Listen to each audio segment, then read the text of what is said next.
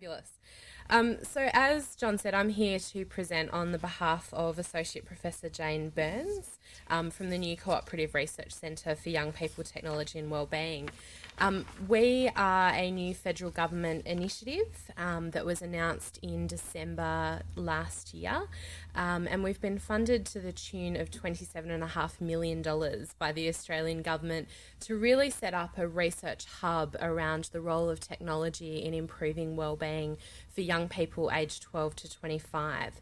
Um, so, what I'm going to do today is actually um, spend just a minute or two talking about the challenge um, that faces us in regards to using technologies to improve wellbeing for this particular group uh, in the population. Talk a little bit about the role of technologies as being a solution across promotion, prevention, early intervention, and treatment, and then finish off by giving you a bit of an overview of the new Cooperative Research Centre and what that might actually mean for yourselves as practitioners working with young people and indeed with people across the lifespan, um, but also, more importantly, what that means for young people themselves. So, I suppose um, it's not news to you that um, drug and alcohol issues have a significant effect on young people's mental health and well-being. Um, we know that one in six young people aged 14 to 19 have used an illicit drug in the last 12 months, and we know that young women are more likely to have used a drug than males. Um, and this really creates um, I guess, a, a, picture around why we need to intervene early. Um, and it's the case across drug and alcohol issues as well as mental health and well-being. Um, so we sort of use some of those statistics really to create um, a bit of an argument for why this particular work is important. And I think when Jane put this presentation together, she actually put a fabulous uh, little digital story there from some young people talking about the effects that drug and alcohol um, issues had had on themselves and their peers. I'm not quite sure whether that's going to work, so I'm just going to move on. But imagine that there is a fabulous video created by some young people on the effects of chroming. So there, I guess there are a number of reasons why technologies play an important role for young people around improving mental health and well-being. The Headspace Community Awareness Survey, which was conducted a couple of years ago now, um, involved a computer assisted telephone interview of 2,000 young people aged 12 to 25. It found that 77% of the young people surveyed used the internet to connect with other young people, um, and 39% actually used the internet to seek information about a mental health problem. And in this particular survey, they took a very broad view of what that meant.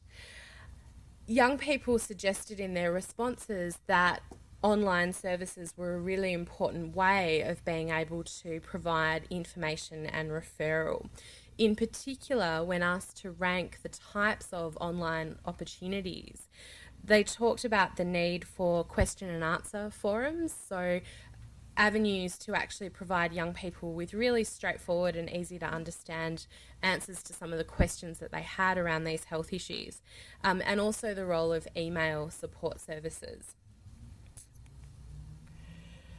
We know already that young people are using technologies in a variety of ways. Um, we know, for example, that 95% of young people in Australia use the internet on a regular basis, and social networking has fundamentally changed the way in which young people engage with their peers, with significant adults, and with the service system. And you saw some fantastic examples today of interventions that have been developed specifically targeting particular issues mobile phones are a huge opportunity, I think, in this space. Um, and a few people talked about um, sort of new developments in this sector, which include the development of mobile based applications. It's something like 57% of phones owned by young people are smartphones, so they're internet enabled, which really creates an enormous opportunity to be able to use these technologies in a way that delivers content to exactly where young people are um, because they've always got their mobile phones on them. There's similarly opportunities to use uh, things like virtual worlds and serious games to promote wellbeing in young people. And there's some really fantastic examples actually from the team at Victoria University who have been able to use the virtual world Second Life as a way of actually engaging with young people who have a variety of disabilities. Um, and it's really created an opportunity for these young people to participate and engage with services in a way that's really never been conceptualised before.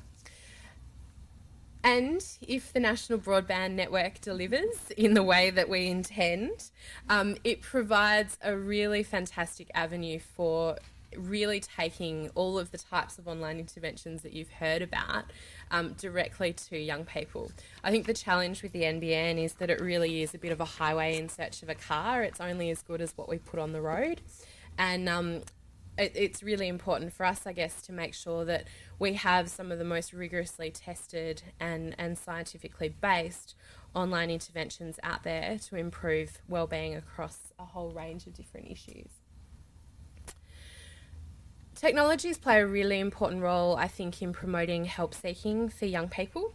Um, and this is an article that appeared in the Australian newspaper last year um, and provides, I guess, a bit of a case study of a young man called Doug who was supporting a friend who was going through a tough time. In fact, that friend was, was contemplating suicide.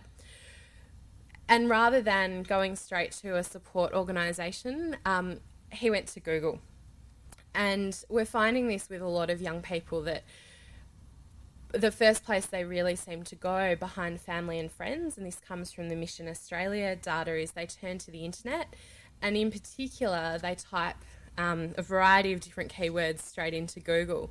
And so it's really important that we're all working to make sure that credible, evidence based information appears really high in those Google search rankings so that we can actually get that information straight out to young people. So, I guess to give you an indication of what we are planning to do over the next uh, few years, five years in fact. Geez, this slide takes a while. this is the thing about presenting someone else's information, you're really not quite sure what's going to come up next. So, the Cooperative Research Centre for Young People, Technology and Wellbeing comes out of the work of the Inspire Foundation. Inspire being the organisation behind the online youth mental health service reachout.com. Um, so Inspire had been working in this space around young people, technology and wellbeing um, for about 12 years. And alongside that, we had really seen Australia become a world leader in the development of online interventions. Um, and in fact, the work that people like David and the team at QUT have been doing, and Helen Christensen, Kathy Griffiths, Julia, and, and others at ANU, um, as well as a whole variety of other players, have really positioned Australia really strongly in regards to the development of, of these types of opportunities.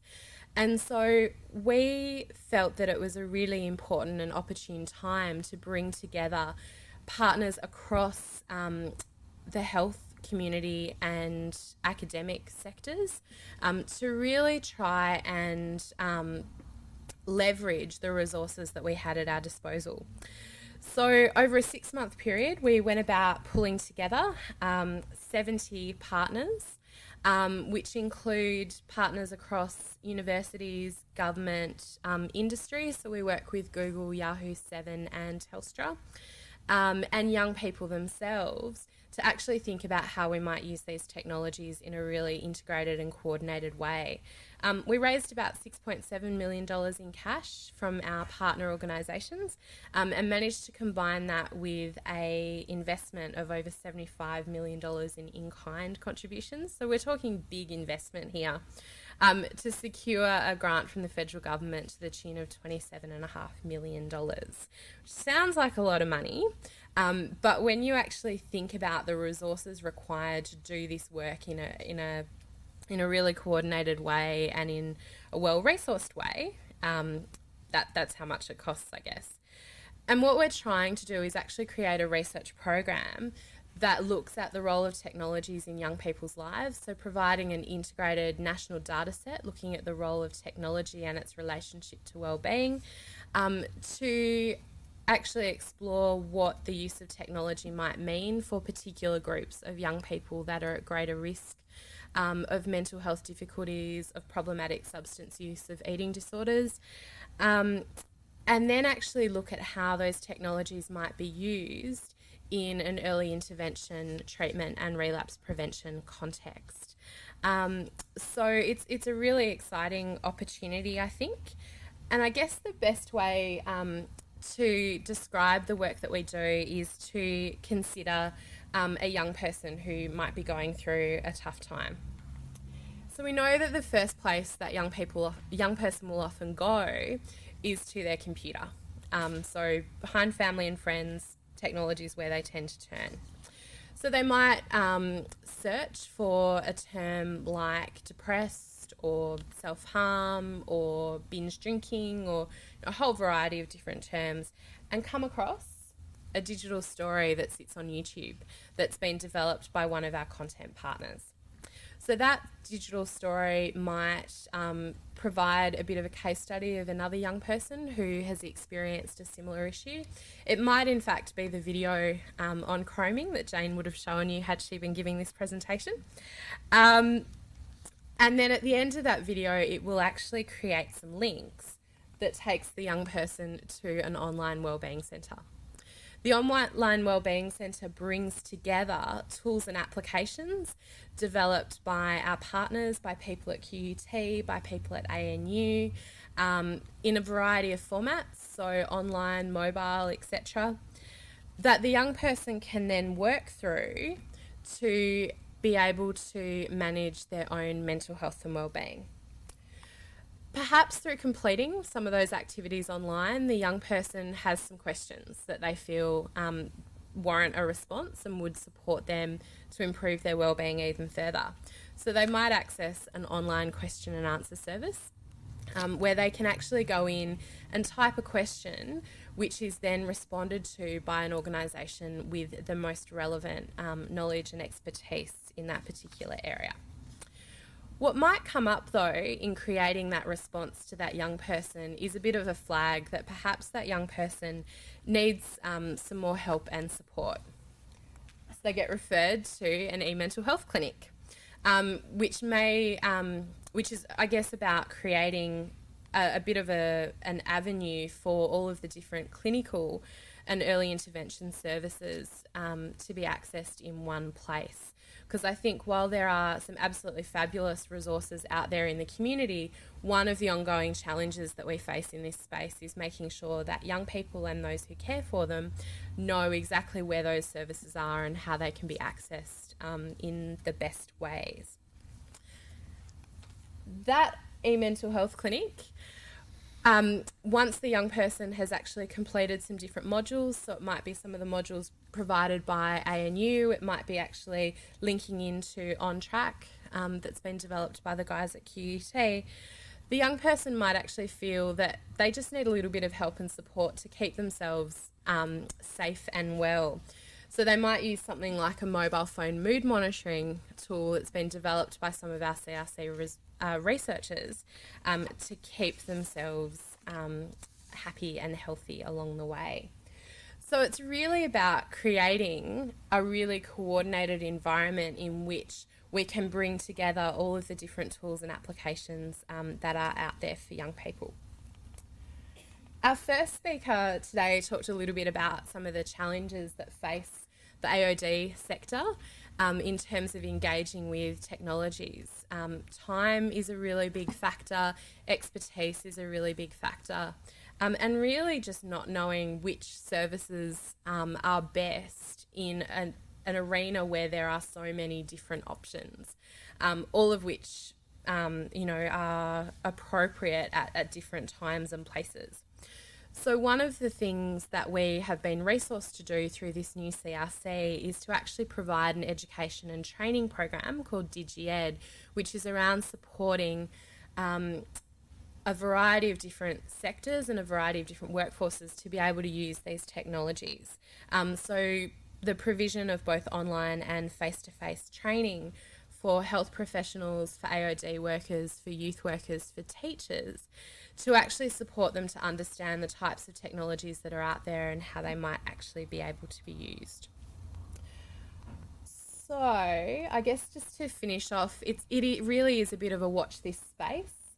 Um, we have only officially been up and running for six weeks. That, w- that was when we signed our agreement with the Commonwealth Government to kick off.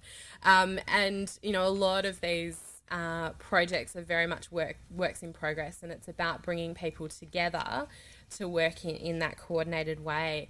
Um, I would, I guess, finish by inviting you all to join our Youth and Wellbeing Network or YourNet, um, which is a way for you to keep up to date with different developments in this sector, um, with a particular focus on the role of these technologies in improving mental health and wellbeing um, for young people across um, that sort of 12 to 25 age group. And when we talk about mental health and wellbeing, we're absolutely talking about drug and alcohol issues and eating disorders and a whole variety of different um, experiences that young people might have. Um, so, thank you so much for the opportunity to present, and um, I hope I've managed to do Jane's presentation justice.